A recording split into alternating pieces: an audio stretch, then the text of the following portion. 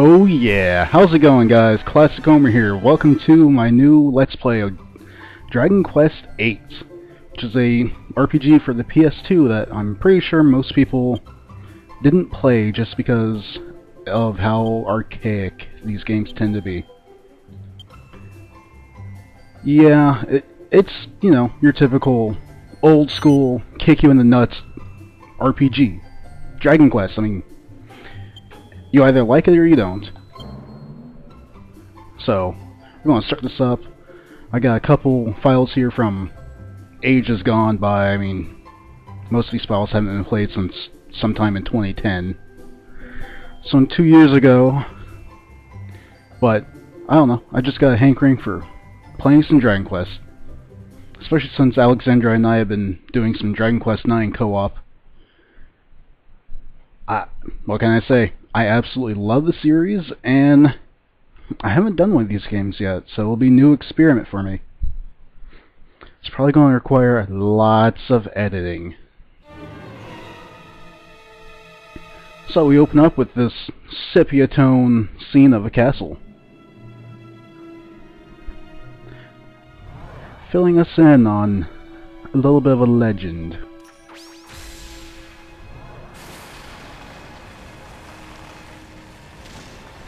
Forbidden power in the form of vines or and or tentacles. Oh no, not Trodain's darkest hour. We have no idea what any of that means at this point. Don't worry, all will be told in time. Ah, this looks like it's trying to display in widescreen, which is probably bad. I'll fix it here in a moment. I can't actually do it right now. It's an adorable mouse with an awesome mohawk.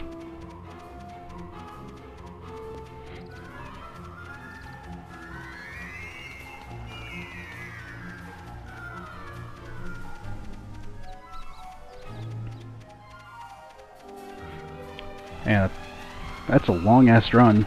What the fuck is that? It's... Yoda? I know it's what everyone says about this character, but... How can you not look at that and see anything other than Yoda?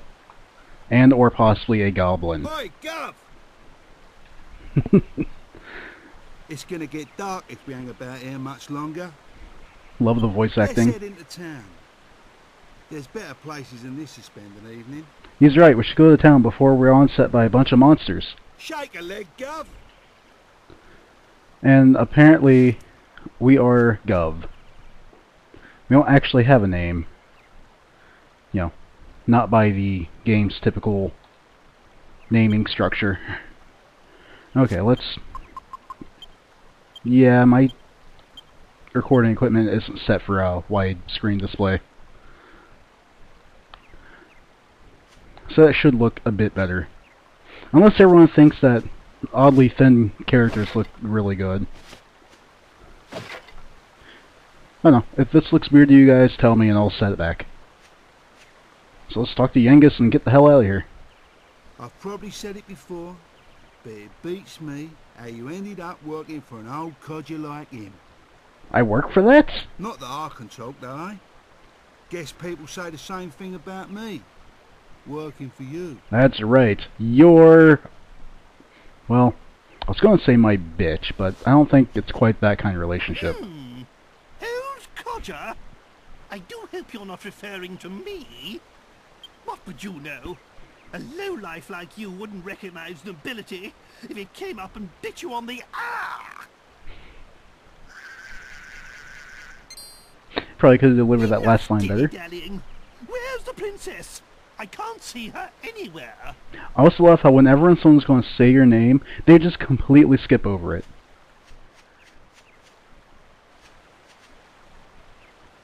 You know, unfortunately, the main character is a silent protagonist. Oh no, slimes! Uh-oh, here comes trouble, Guv.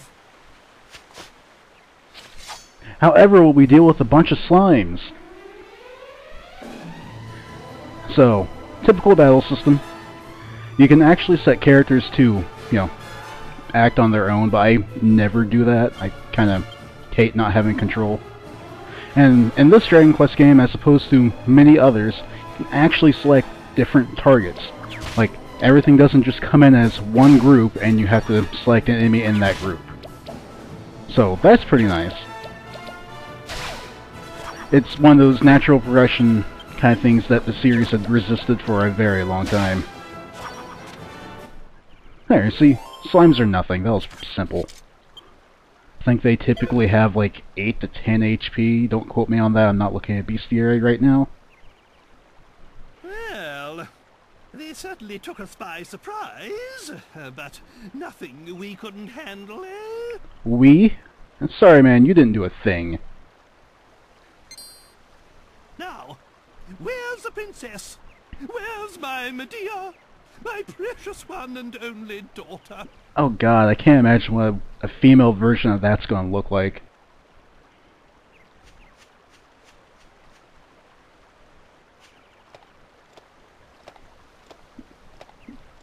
Ah, there you are. Thank goodness you're safe, Medea. What? Medea is a horse. Hey, hey, the horse princess is back. The horse princess? I say we make a move now, before it gets dark. That must just be a figure of speech. There's no way he has any kind of direct lineage to that horse. That doesn't make sense. Well, we'll all figure it out in time. And yes, I know what's going on. I'm just not going to tell you guys. And don't spoil it in the comments, even though this isn't a very story-heavy game. You know, by comparison to Final Fantasy games. If you know what's going on, just keep it to yourself. I want to actually go through this whole thing and make it enjoyable for as many people as possible. So, apparently, we're under the employment of Trode, who travels with this horse and cart. Maybe he's a merchant of some sort, or has some good reason to be going from town to town. Perhaps we're just travelers. Or maybe we're some kind of entertainment troupe. Who knows? But I mean, come on. This world's going to be populated by all kinds of different creatures, right? I mean, Trode can't be that strange, can he? And it's, not like there's a world populated almost exclusively with humans here. Of course, everyone is giving us weird looks.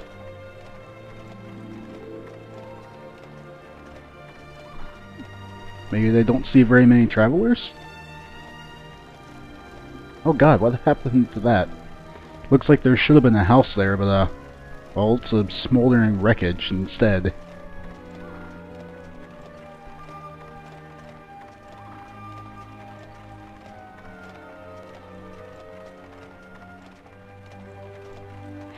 Really do like the orchestral soundtrack in this game, though. Hopefully I'm not talking over it too much for you guys.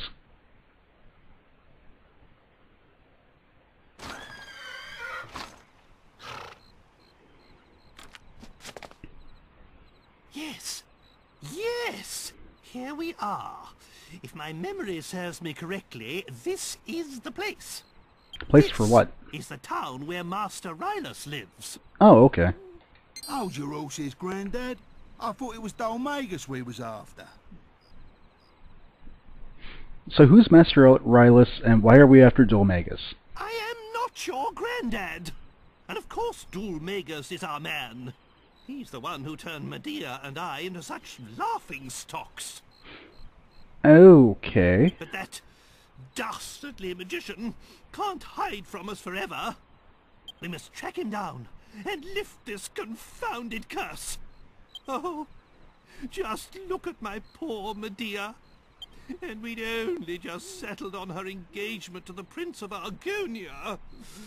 Oh, that despicable Dhoulmagus. That's why it's imperative we locate Rylus. Will you go and find him?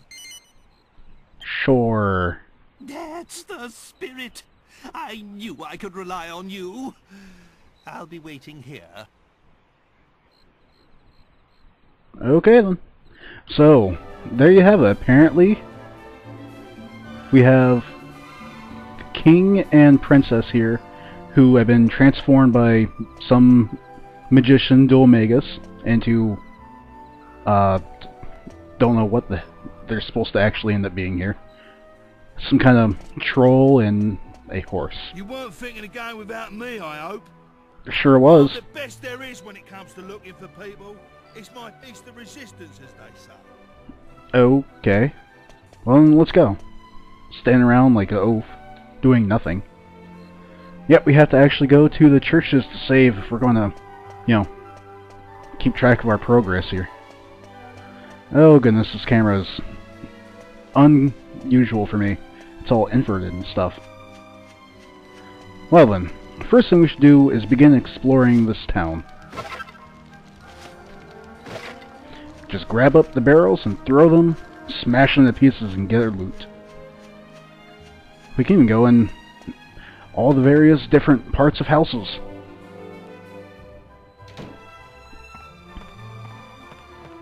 Hmm, let's raid this. I think this is the item shop, possibly the inn. Whatever, we're gonna raid him of his supplies back here. Okay then. Yep, just ran around your back door and stole three gold from you. And you did nothing about it! Let's see. Yeah, that's the end. No, we can go in the end for now.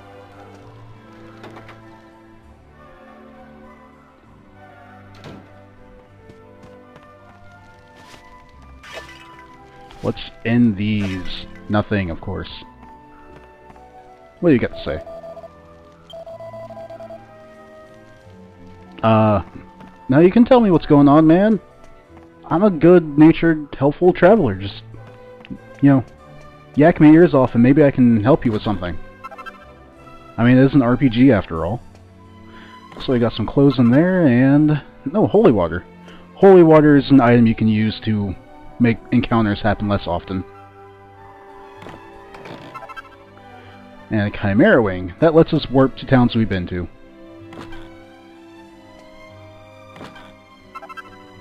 And a Cypress Stick. That's actually a downgrade for the weapon the hero currently has.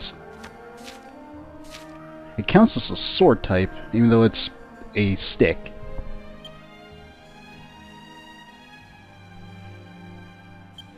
Okay, cool. Exploring tips. Yeah, treasure chests are pretty awesome. Of course, they're all going to look something like that. I like the, uh, the mindset here. Why are these treasure chests here? Who cares? They're for you to loot! And just assume that it's there because of the goddess. Alright then. So yeah, Oh, bags. That's the game encouraging you to get used to looting everything you can. Because unlike, you know, modern day RPGs or Skyrim or anything like that, there's no penalty for just grabbing everything you can.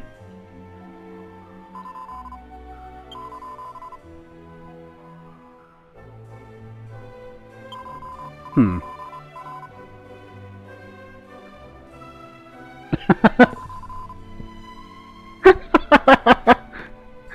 wow. Someone's being a dick to her.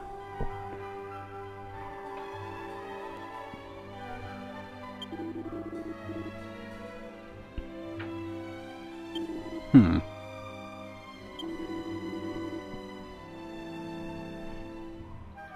Okay then, apparently I'm going to make the assumption these two had a run-in with some Kalderasha character, and he's apparently being a dick. I approve.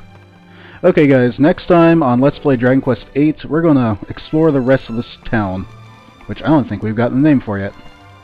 So, until then, Classic Homer, signing out. You guys have a good night.